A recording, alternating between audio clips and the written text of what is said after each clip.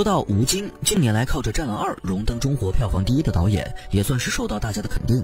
吴京的《战狼》系列不但把自己的硬汉形象塑造的十分完美，就连之前的小鲜肉张翰，在他的带领下也摆脱了鲜肉的标签。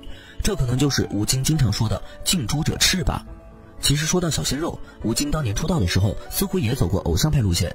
作为吴京妻子的谢楠，曾经接受采访时就说到过：“我当时就觉得，哎呀，怎么有男生长得那么好看？他完全是应该走男偶像路线的，因为他那时候看起来就是笑起来的时候，眼睛里面像有小星星一样一闪一闪的。”对于这些话，如果是现在的那些小鲜肉，绝对会心里乐开了花。但是吴京听完之后，直接回了一句：“这还是人吗？”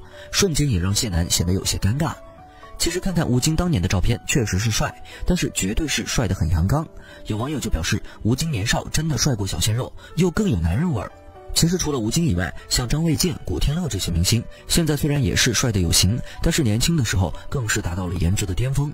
看来吴京这回不但创下了票房新高，对自己来说也算是刷新了自己帅的新高啊。